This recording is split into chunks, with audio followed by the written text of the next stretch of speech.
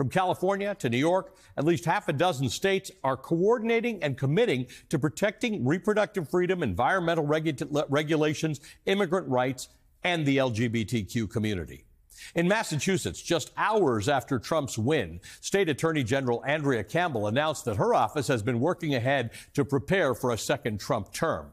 Quote, where someone violates the law or the protections of our residents or the values we hold dear, we will fight and we will do it in collaboration with AGs across the country, end quote. Under Trump's first term, the Massachusetts Attorney General's office served, uh, sued the Trump administration nearly a hundred times and was often a leader or collaborator in multi-state suits. Meanwhile, California officials have similarly spent months preparing to Trump proof itself, drafting legal briefs to preemptively block Trump, uh, potential Trump policies that could affect a host of rights. The Attorney General, Rob Bonta, announced on Thursday, quote, you can be sure that as California Attorney General, if Trump attacks your rights, I'll be there. If Trump comes after your freedoms, I'll be there. If Trump jeopardizes your safety and your well-being, I'll be there. Minnesota Governor Tim Walz, after losing the Democratic vice presidential nomin- uh, election, also vowed to protect Minnesota citizens, warning on Friday, quote, the moment they try to bring a hateful agenda into this state, I'm ready to stand up and fight for the way we do things here. Minnesota always has and always will be there to bring shelter from the storm, end quote. Walz criticized abortion rights, climate action, uh, gun safety, and labor rights. Uh, I'm sorry, he cited those things as areas that he intends to defend. Meanwhile, the Connecticut Attorney General William Tong said on Thursday that his office will protect immigrant families from separation under Trump's mass deportation plan. And in New York, Governor Kathy Hochul and Attorney General Letitia James held a joint press conference to announce their new initiative to protect New Yorkers' rights under a plan called the Empire State Freedom Initiative. The measure aims to protect reproductive rights, civil rights, immigrants, environmental standards, and more against potential abuses of power. On Thursday, James told reporters, quote, we will continue to stand in, tall in the face of injustice, revenge, or retribution. We will continue to protect our most vulnerable and marginalized amongst us. We are prepared, my friends, to fight back. While many are still reeling from Tuesday's election, from Tuesday's, uh, from Tuesday's loss, these state leaders are wasting no time in steering the resistance in this dark new chapter for America. Their actions could become a crucial check on Trump's authoritarian ambitions. But for now, this nationwide legal front offers a measure of assurance for a generation of Americans who are confronting one of the greatest challenges that our country's democratic foundations has ever faced. More on this, I'm joined by the Connecticut Attorney General William Tong and the Arizona Attorney General Kris Mayes. Good morning to both of you. Thank you both for uh, being here. You and I were talking about this, and you and I have talked about this in the past. Uh, the fact is, uh, like the Secretary of State, who we've heard so much from in the last few, four years, but we never talked to before, uh, Attorney General do this you look at all of these laws, these things that we sometimes see as Supreme Court cases, as federal cases, you're often involved in anyway. So every time something big is happening in this country that affects anybody in your state, your office is on it looking at the ways that affect people in your state and, and determining whether you have standing and a role to play. Yeah, we're in these fights every single day. Yeah. We built a firewall in Trump 1.0. That firewall uh, has never come down. And, and we were in Dobbs. It didn't go the right way, but we were,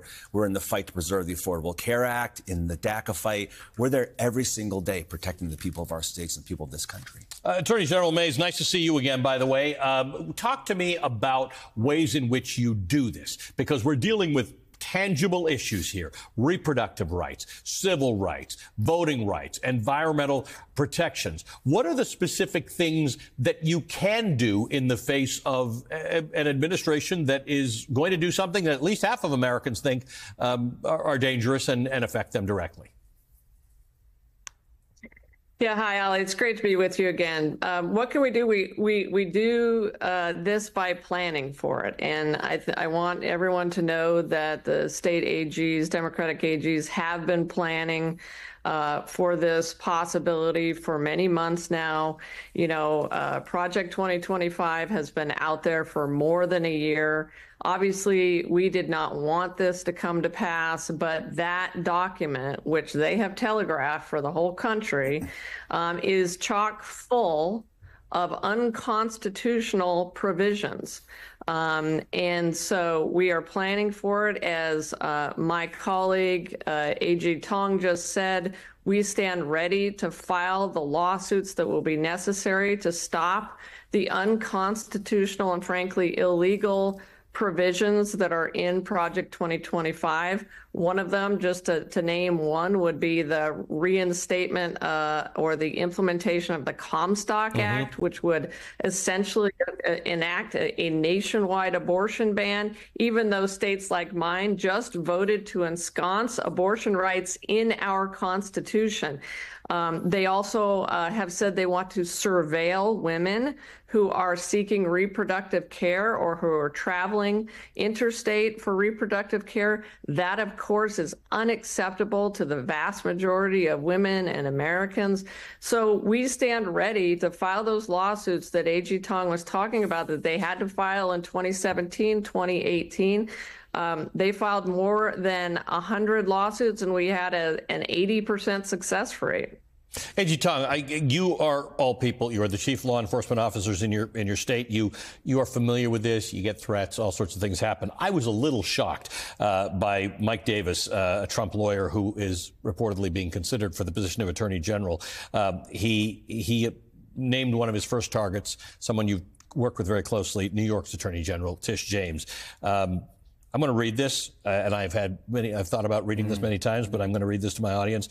Uh, quote, let me just say this to Big Tish James, the New York Attorney General. I dare you. I dare you to try to continue your lawfare against President Trump in his second term because listen here, sweetheart, we're not messing around this time and we will put your fat ass in prison for conspiracy against rights. And I promise you that. And I, I apologize to my, my viewers for having to read that, but, yeah. but it's actually important. I, I, dare him to say that to her face. Yeah. There's nobody tougher than Tish James. Yeah. I've served with her for six years, and it's despicable. It's disgusting. It puts her at risk. But Tish is one of our leaders, not just in in, in New York or in our region, but in this country. We look to Tish. She is one of the key parts of this firewall, and she's going to be tougher than ever. Kris Mayes, you, I mean, you're used to these legal fights, but this is a, a different flavor altogether right? And by the way, you faced this in Arizona with people who are not engaging in sort of normal level uh, legal or political fights, but go to these remarkable extremes. They're saying this stuff. And part of the effort in authoritarian governments is to try and make people fear so that they obey in advance. And that is the one thing our readers, our, our viewers need to know that you, Kris Mayes, you, uh, uh, William Tong, will not do that. No, we won't do that. We won't be cowed. We won't be intimidated. And, you know, we, we never have. And, and, you know, this is a time for patriots to stand up for our Constitution, for us to remember that millions of Americans fought and sacrificed and died for our Constitution. Um, and, you know, just because one, uh, you know, I don't even know how to describe that individual, uh, would say those disgusting things about the top law enforcement officer of the state of New York. Um, just because they say those things doesn't mean that we're going to stand down. Ali, as you know, I have a fake electors case in Arizona. Yes. I have no intention of bringing that case up. I have no intention of dropping that case. A grand jury in the state of Arizona decided that these individuals who engaged in an attempt to overthrow our democracy in 2020 should be held accountable. So we won't be cowed, we won't be intimidated, and patriots across the country must stand up for our Constitution, for what is lawful, and we will do that. And what is, where we can, we will obviously. I'm sorry. Go ahead. No, no, no. I was going to say your point there, where it's lawful, and I, and that's the point, right? If this person, and I hope if this person shows up uh, for a Senate hearing to get confirmed for Attorney General, this gets brought up. That you can't just threaten people for wanting to pursue what they do. Uh, William, you you you you do take the law into account when you challenge a case. If, if you don't have standing, if you don't have a legal argument, you won't do it. Of course, that's what the rule of law means. And, and I should also say that um, following Tish's lead and Kris's lead and together as state attorneys general, we're not just going to take it anymore. We're not going to be on defense like we were in Dobbs. We're on offense. You're the, the mifepristone, the attempted right. mifepristone ban. That is nothing if not an attempt to enact a nationwide ban on abortion right? And we went on offense. We went into federal court. We filed our own lawsuit to protect access to mifepristone. So Democratic AGs are going on offense. And that's something Kris Mayes people, women are asking. You talked about surveillance. Um, there are women who are really scared about this because there are a lot of women who use apps um, in, in part of their efforts to to reproduce and understand when they're when they can get pregnant. There are a lot of women who who use a lot of technology. There are a lot of women who depend on mifepristone. There are a lot of women who depend on um, abortion pill. I'm sorry, contraceptive pills by mail that the Comstock Act and some Republicans have said they will target as well. There are people who have real fears about what should they be doing. Should they be stockpiling? Should they be finding providers in Mexico or Canada? These are real issues to people.